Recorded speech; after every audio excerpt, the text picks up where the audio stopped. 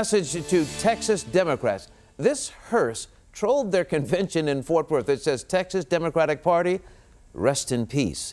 But in a county that's mainly red, that kind of taunting is almost expected.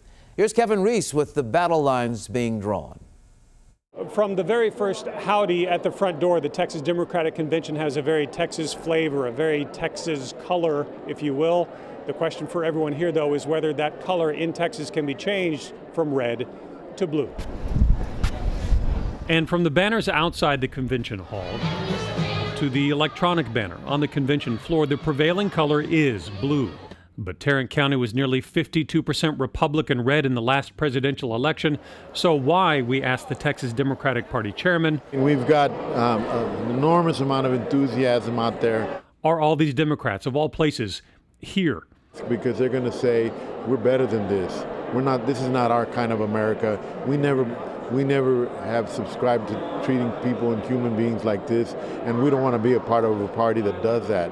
The immigration fight that made international news this week at the U.S. Mexico border is just one of many issues Democrats feel will drive more votes their way.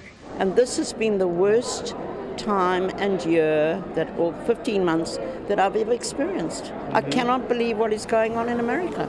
It's sad, but the Lord works in strange ways and He always makes something bad into something good.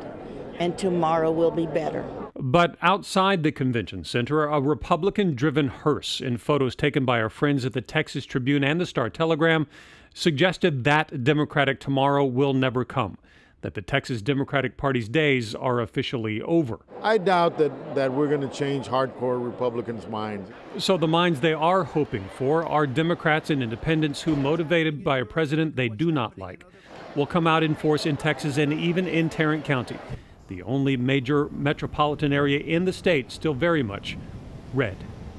In Fort Worth, Kevin Reece, Channel 8 News.